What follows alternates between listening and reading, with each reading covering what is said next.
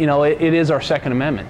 It's it's some it's something that. Um, you know, is put into the Constitution. This is this is something that you know that we that we stand by. This is something that you know is. Um, does it make society safer? Do you it think? does. It does. Uh, you t- you take a look at um, you know when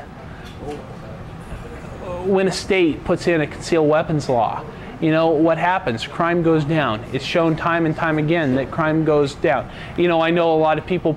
In other words, when a state allows, makes it, enables people to carry concealed weapons by getting a permit, the criminals don't know who's packing a concealed gun suddenly, and so they get a little more careful about their operations or hesitant the phrase that's thrown out there so much is an armed society is a polite society. And and, and honestly you know that there's there's a lot there's a lot of truth in that as well.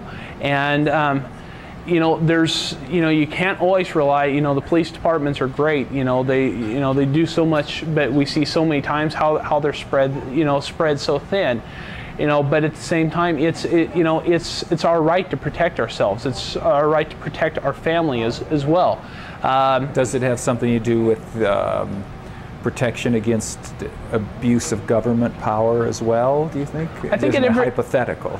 I think that if, if it ever comes down to that yes. And um, you know and, and there's there's the there's the there's the doomsday theorist, uh, theorist. And um, that, that you hear but at some point, if it comes down to it, as far as you know, if if, a, if the government becomes too oppressive and begins to take away our rights, you know, how do we how do we then defend ourselves? That's that's a great question. And will it ever come to that?